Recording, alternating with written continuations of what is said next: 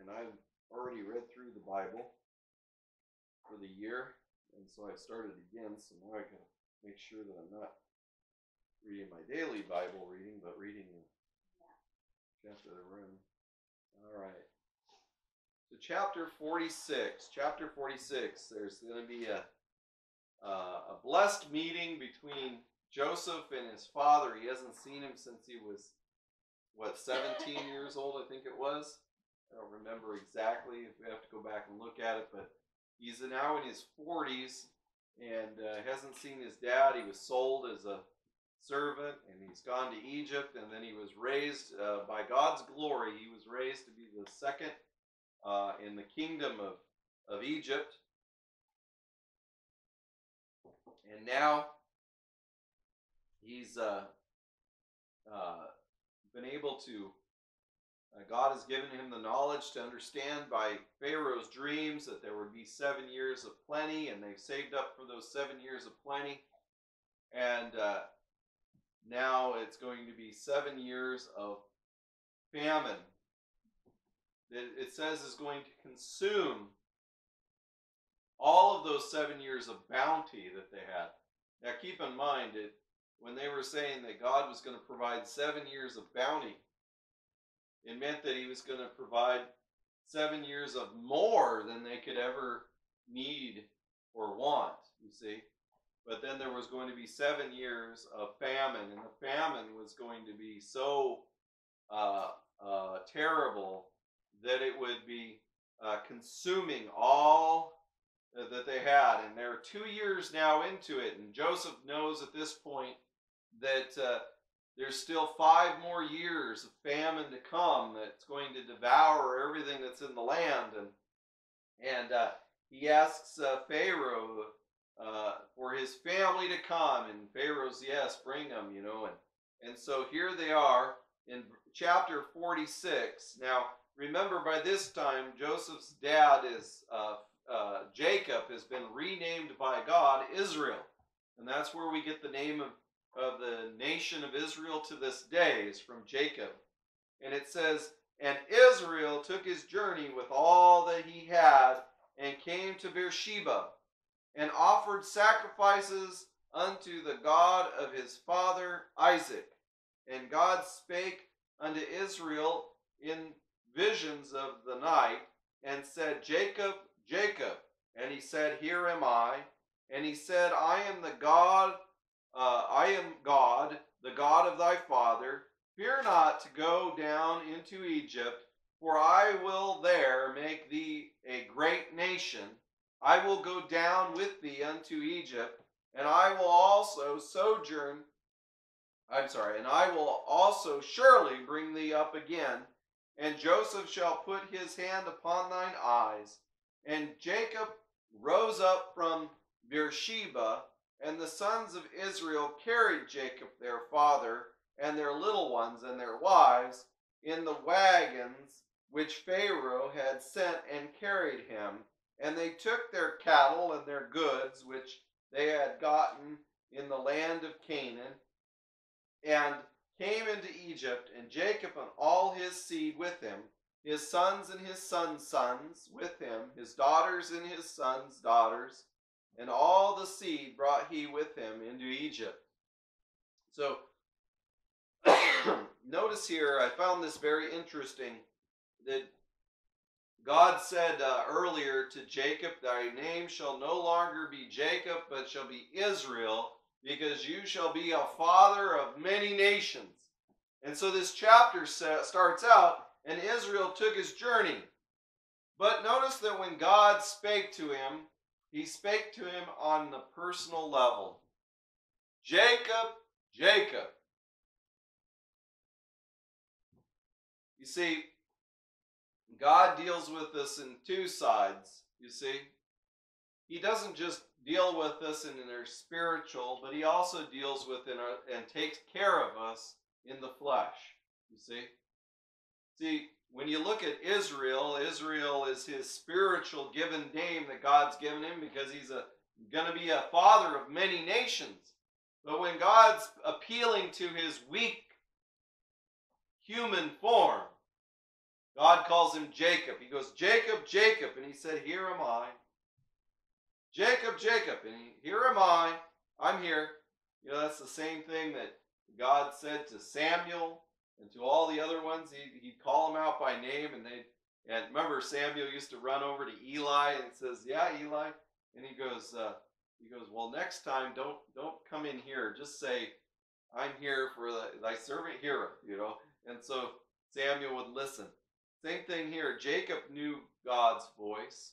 Jacob knew when God was talking to him, and Jacob also knew that God was uh, was going to take care of him, and he wanted to see his son. But notice that God had also told him to stay in the promised land, and this is God giving him license to go to Egypt. You see, even though Joseph wanted to go to Egypt and he was starting on that journey, there was his spirit was was uh, convicted. I am I disobeying God in doing this? Am I disobeying God to, to do what I want to do? Because uh, we struggle with that in our lives all the time, our flesh, don't we? What is it that I want to do versus what God wants me to do? And it's a very hard thing. But God speaks to him by that night in a vision, it says. And he says, Jacob, Jacob, speaking to his flesh, you see, because he knows that he wants to see his son. And he said, and Jacob says, Here am I. And he says, I am God. Remember, God always says, I am. Jesus is the great I am. And he said, I am God, the God of thy father. Fear not to go down into Egypt, for I will there make thee a great nation. That's a promise that, that God is giving to Jacob. Jacob will never see his home again in his lifetime, you see. He's going down to see his son so that he may die. Look at the end of the last chapter there. It says, And Israel said, It's enough. Joseph, my son, is yet alive. I will go see him before I die. Jacob is 120 years old. 120 years old. You notice that Jacob doesn't just get up on a on a, uh, a horse or on a donkey or anything like that and ride off to go see his son. It says here that that he was so old and stricken in age that his sons had to pick him up and put him in the wagon. But his sons obeyed, didn't they? And his sons and his sons' sons were going to go with him, and his daughters and his daughters' uh, daughters-in-laws.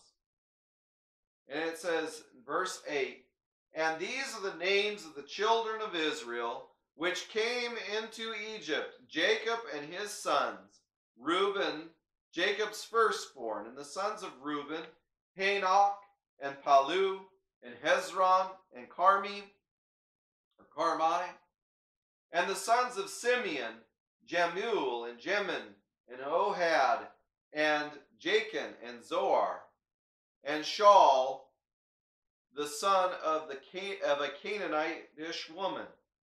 And the sons of Levi, Gershon, and Kohath, and Merari. And the sons of Judah, Ur, Onan, Shelah, and Pharez, and Zerah. Now we remember Judah, remember Pharez and Zerah? Remember, Pharez is in the lineage of Christ, as we read in Matthew chapter 1. Pharez and Zerah. But Ur and Onan died in the land of Canaan, and the sons of Pharez were Hezron and Hamul. And the sons of Issachar, Tola and Phuvah, and Job and Shimron. And the sons of Zebulun, Sered, and Ilion and Jesiel.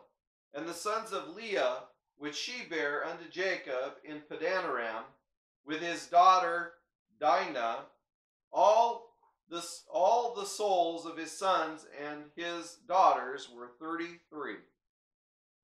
And the sons of Gad, Ziphion, and Haggai, and Shunai, and Ezabon, Eri, Aradai, and Ariel, and the sons of Asher, Jimnah, and Ishwal, and Isui, and Berah, and Sirah, their sister, and the sons of Berah, Heber, and Malchiel, and these are the sons of Zilpah, whom Laban gave to Leah, his daughter, and these she bare unto Jacob, even sixteen souls. The sons of Rachel, Jacob's wife, Joseph and Benjamin. And unto Joseph in the land of Egypt were born Manasseh and Ephraim, which Asenath, the daughter of Potiphar, the priest of On, bare unto him. And the sons of Benjamin were Bela, and Becher, and Ashabel, and Gur, Ura, and Naamah, and Eliah, and Roash, uh, Mitham, and uh, Huppim, and Arad. And these are the sons of Rachel, which were born to Jacob. All souls were fourteen. And the sons of Dan, uh, Hushim, and the sons of Naphtali, uh, Jaziel, and Gunai, and Jazir, and Shilim. These are the sons of Bilhah, which Laban gave unto Rachel his daughter, and she bare these unto Jacob. All the souls were seven. All the souls which came with Jacob into Egypt, which came out of his loins, besides Jacob's sons' wives, and all the souls were threescore and six. Sixty-six. Threescore and six. And the sons of Joseph, which were born in Egypt, were two souls, and the souls of the house of Jacob, which came into Egypt, were threescore and ten, so seventy total that came with him, including his servants and everything. And he sent Judah before unto Joseph to direct his face unto Goshen, and they came into the land of Goshen. So here we have 70 going in to Egypt.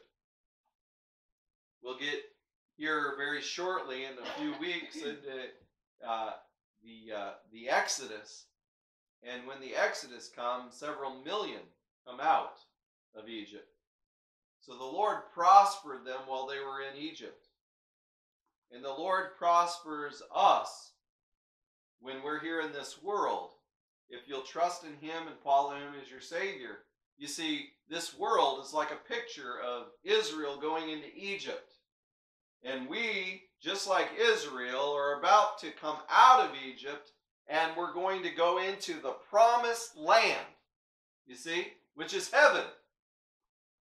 And boy, I just got done with the book of Revelation, and heaven's going to be grand. Talks about the new Jerusalem is four square. It's just as high as it is wide, as which is long. It's a big cube, and it's going to come out of heaven and land on the earth. It's going to be on a new earth, and the new earth is so big that this, according to the measurements of this new Jerusalem, it's going to be as wide as about half of the United States is in size. So it's huge. But you think about it, the new earth has got to be huge for all of those saints through time that have trusted in the Lord as their Savior. You see?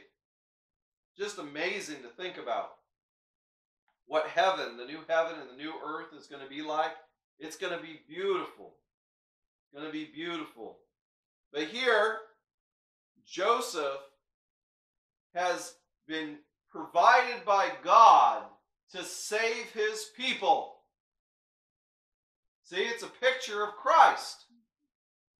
Joseph was in all wise tempted, but yet he didn't sin in those temptations. Now, I'm not saying that Joseph was a perfect man. He did sin in some ways and the other, but Jesus never did. But Joseph is a picture, it's a similitude of what God's doing for us.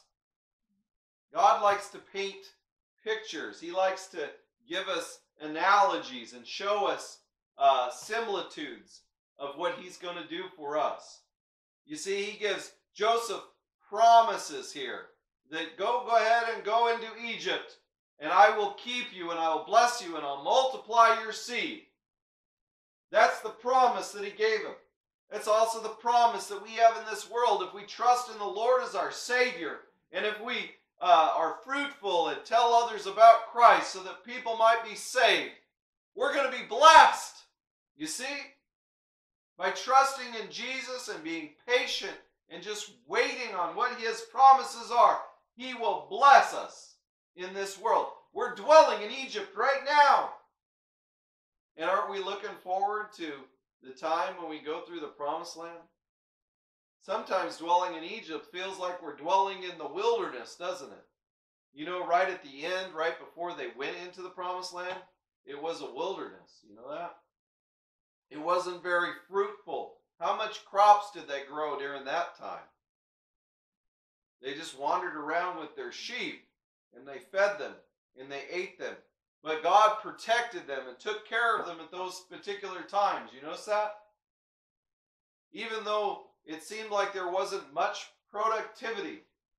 In fact, he was so angry with the one generation that he let them all die in the wilderness and raise up a new one. So we need to teach our children to do what's right and not to yield unto those things of this world that are or that are wrong and moral, that are sin. And so here, Joseph, it's given the lineage, there's 70 souls coming out of Egypt, or coming out of Israel, actually coming out of where the promised land was promised but yet not given, and going into Egypt. Promises made, now they're in Egypt. And so they're heading into Egypt. And so Judah has been sent before unto Joseph to direct his face into Goshen. And they came into the land of Goshen. And Joseph made ready his chariot and went up to meet Israel his father to Goshen and presented himself unto him. And he fell on his neck and wept on his neck a good while. Can you imagine what that must have been like, that reunion? Joseph just learned that his son was still alive. Joseph just learned that his son was now second in command of the land of Egypt.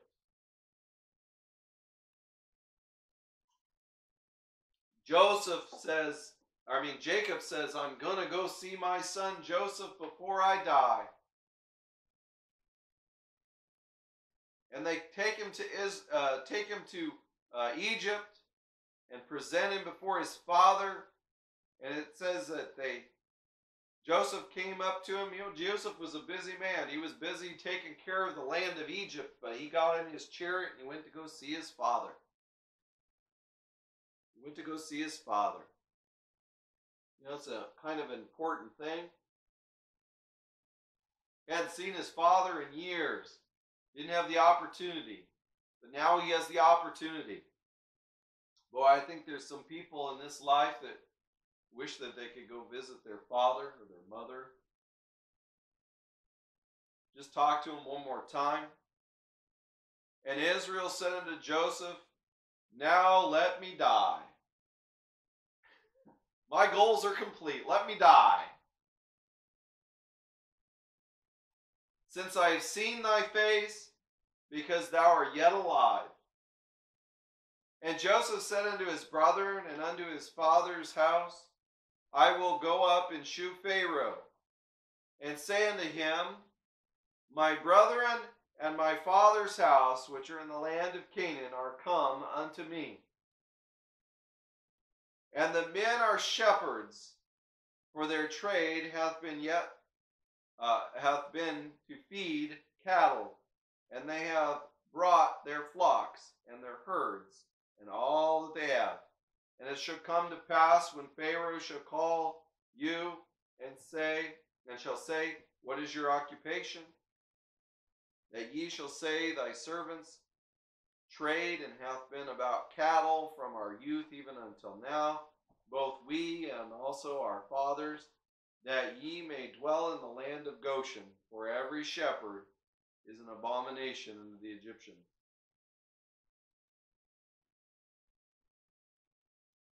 See, Joseph had it all figured out. Just tell them that you're shepherds, you know, they then you won't they won't want you to dwell in the city with Pharaoh, you see. Go and just tell them the truth. Tell them what you are. You're, you're shepherds, lowly shepherds. And uh, Pharaoh will give you the, the good fields of the land to feed your cattle in Goshen. You see? Joseph knew exactly what his family, how they lived, and they were nomadic. They lived in tents. They had animals. They took care of those animals. Nothing wrong with that.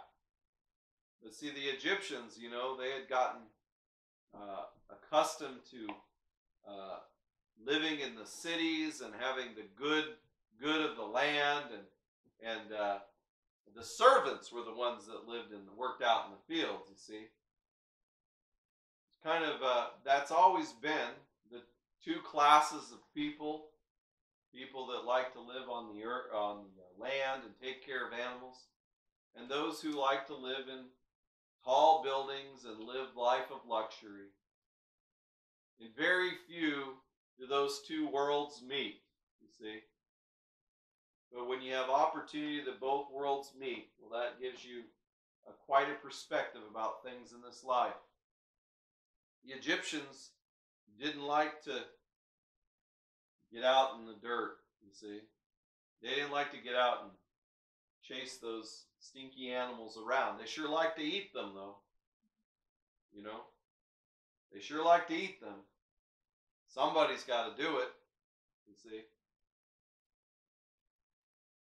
Things haven't changed a whole more of the more of the things you talk about how things have gotten so much more uh, modern and stuff nowadays and things pretty much haven't changed in all these thousands and thousands of years. Remember, this is way before Christ was born. See? But already at this particular time, the lineage of Christ, as we read in Matthew chapter 1, is taken right here. Remember, it talked about Judah. Judah had two children, two boys from Tamar. One was named Pharez. And Pharez is in the lineage of Christ. You can read it right there in Matthew chapter 1. And when Jesus comes, Jesus will come and they'll call his name Jesus because he will save his people from their sins. And it also says in the book of Isaiah that his name would be Emmanuel, which being interpreted is God with us. If there's any religions out there that don't believe that Jesus is God, well, right there, God, the first thing that he says is, His name shall be Emmanuel, which being interpreted is God with us. God loved us so much that he became a man just like us. God himself became a man, born of a virgin God sent his spirit to bring the seed into Mary's womb while she was yet a virgin because it broke the lineage of sin of man. You see, mankind, ever since Adam sinned, children are born sinners because their fathers are sinners. Yes, fathers, it's on you. And the daughters are sinners because their fathers were sinners. Yeah, fathers, it's still on you. You see? But Jesus, God Himself, it says before she was had ever known a man, was conceived by the Holy Ghost. God Himself put the seed in her womb. And she brought forth her firstborn son and called his name Jesus, because he would save his people from their sins. Now, a lot of people say, well, who's his people? His people who he saves are those who are willing to humble themselves and submit to God's word and to ask God to forgive them of their sins and realize that they're a sinner in need of a Savior. If you'll humble yourself before Almighty God, He will lift you up, it says. His people are those who are humble and ask Christ to come into their heart and save them, repenting of their sins. And it says, Whosoever shall come unto me, I will in no wise cast out. God will save you. That's who he's came, he came to save. That's who he came to save. You notice in the another similitude here between Joseph and the and Jesus Christ. It said that Joseph said to tell the Pharaoh that you're shepherds. And who did Jesus notify? He notified some wise men. Did he notify Herod? Did he notify the high priest? Whose responsibility was it to know the high priest and the scribes and the Pharisees? But they were busy about what they wanted to do. God loves the shepherds. He sent his angels these shepherds were watching their flocks by night. And it says, Lo, the glory of the Lord showed. Must have been a sight. Those shepherds, they were, woohoo, let's go. After the after hearing the word about Christ being born and he's in the manger, you'll find him in a manger there in Bethlehem.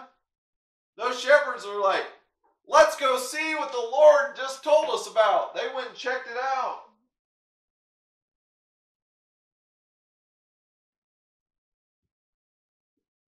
The shepherds came.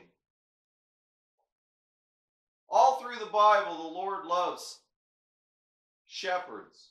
You ever notice that? David.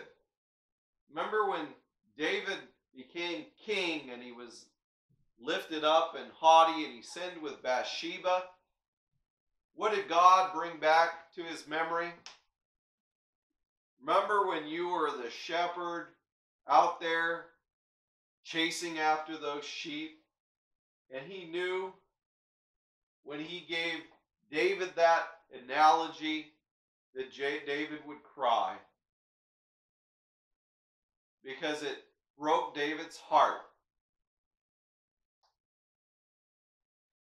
Because David remembered when he was low and how the Lord dwelt with him, and here he was, he'd become a king, and he had been foolish.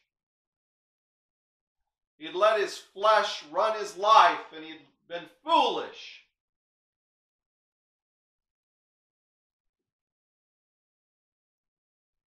Sometimes we need to do that in our life. We need to reflect on how foolish we've been and get back to being a shepherd. Get back to basics. Get back to what God called us to. You see? It's important. That's why God loves the shepherds. Because the shepherds understand that those sheep are going to die if you don't take care of them. That's the heart that God has toward us. We'll die if God doesn't take care of us. You see?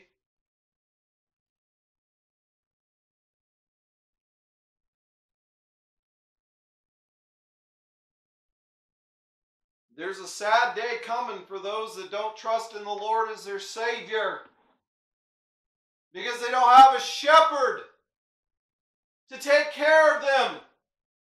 And when the wolves come, they're going to tear them and eat them. And no shepherd to defend them, to take his rod and beat that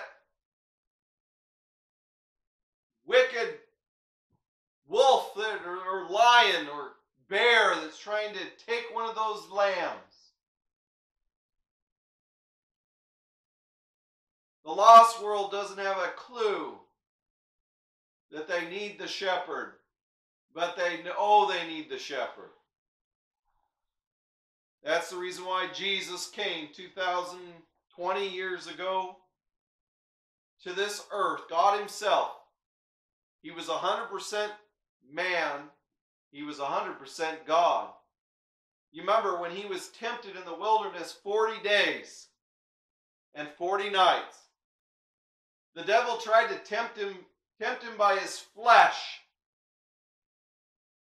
just like every mankind. And Jesus in all ways was tempted, just like we are.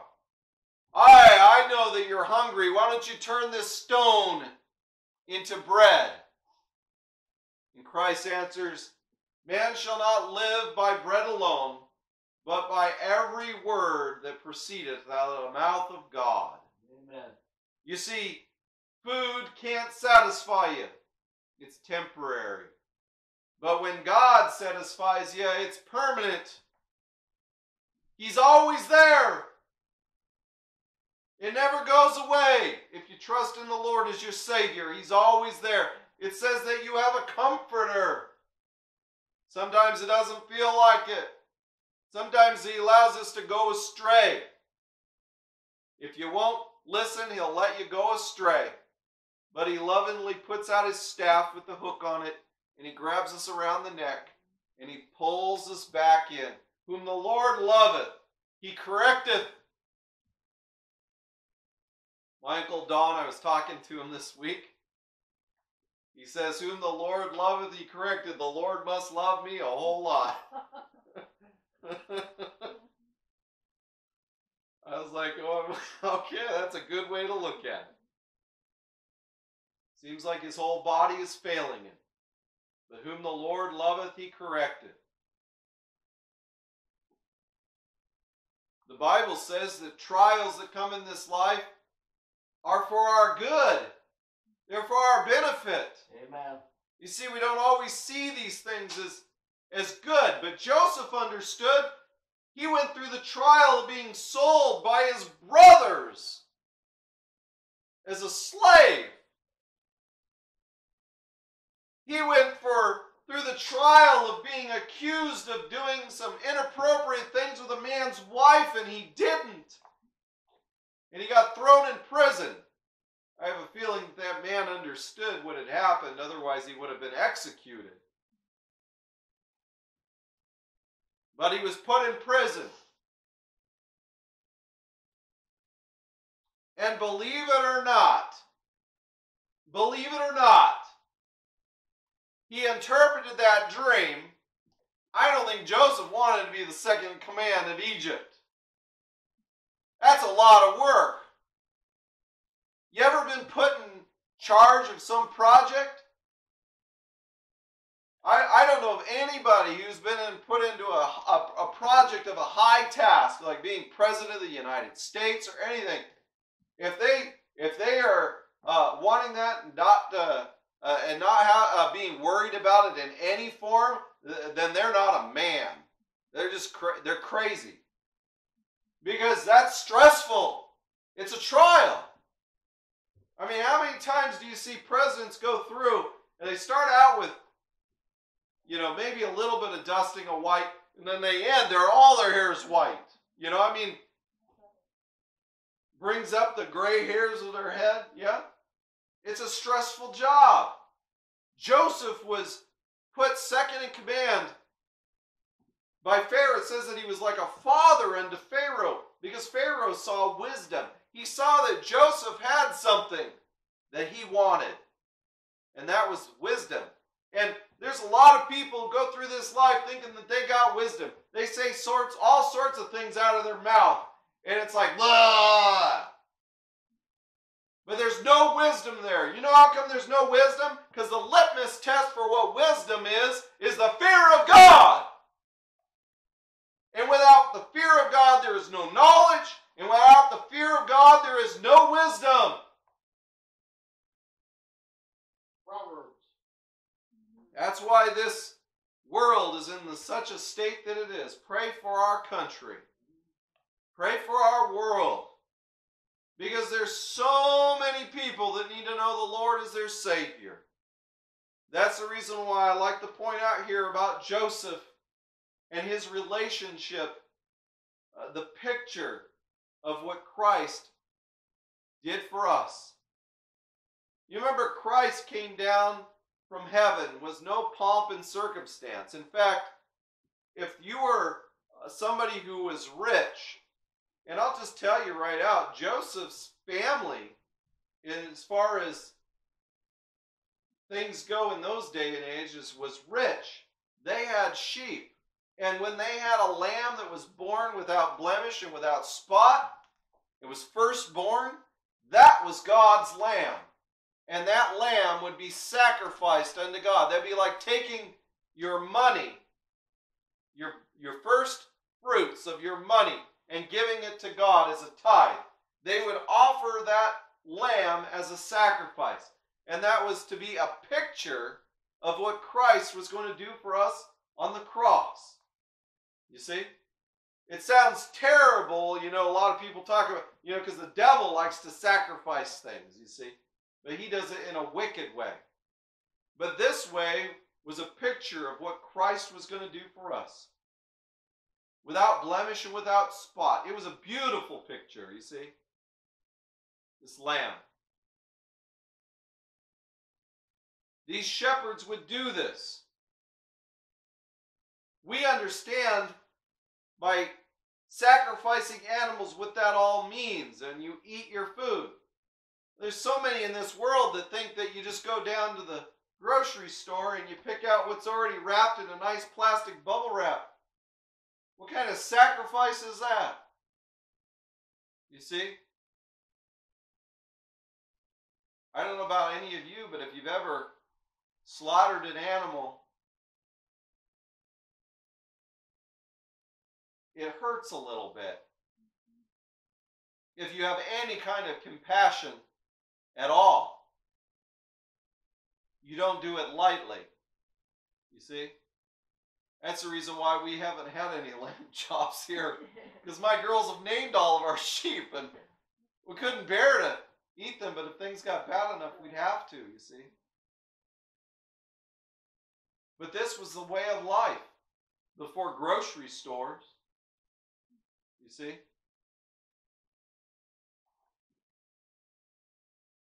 Their men were shepherds. Jesus came to this world. He was born. And those that had money or flocks would sacrifice a lamb without blemish, without spot.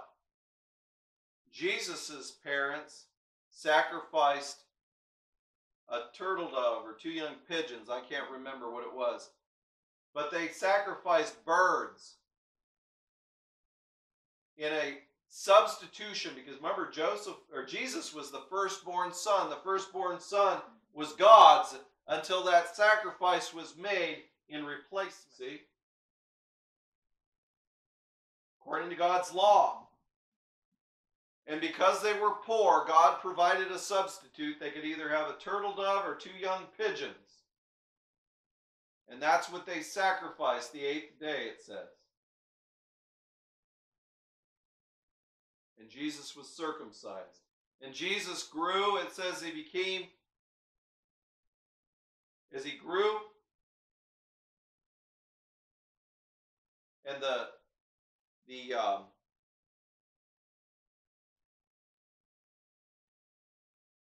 his parents went to sacrifice at the temple and he was there in the temple.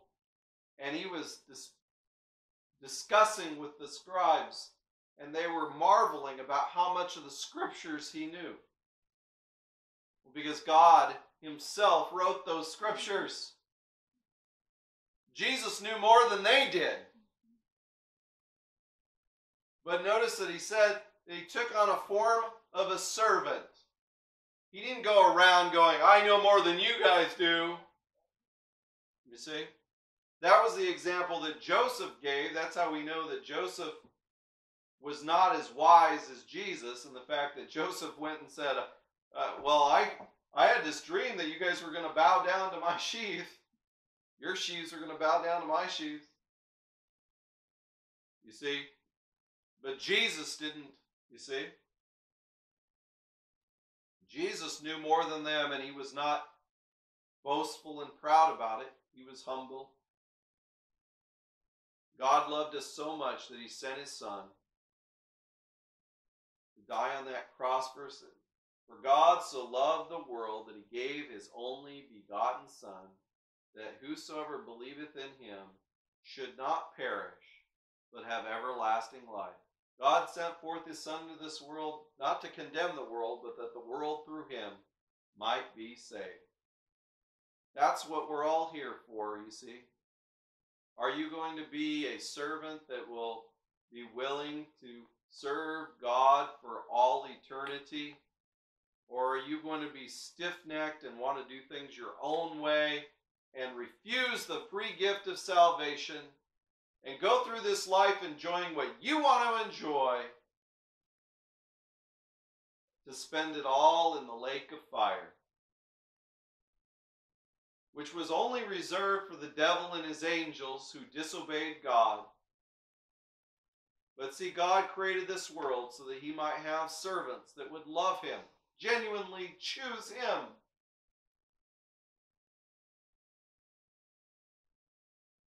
You know that? Nobody loves somebody who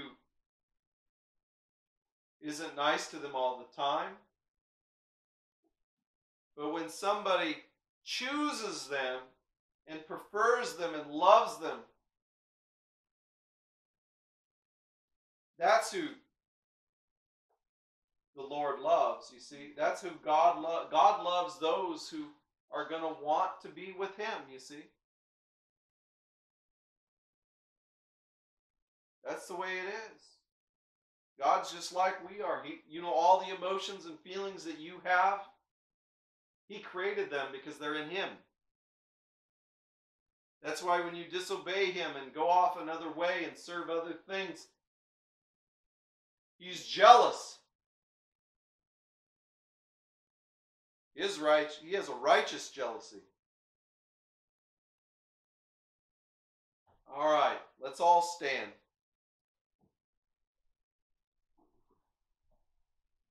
Have you accepted Christ as your Savior? He's right there. If you'll draw nigh to God, He will draw nigh to thee. If you are saved and you're, you're living in sin, He says that if you'll confess your sins, He is willing and just. He's willing and able to forgive us our sins and cleanse us from all unrighteousness.